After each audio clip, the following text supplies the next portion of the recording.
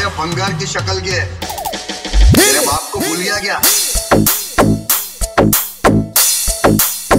निकल लौड़े पहली फुर्सत में निकल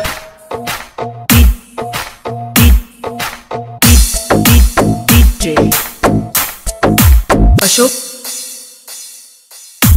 now.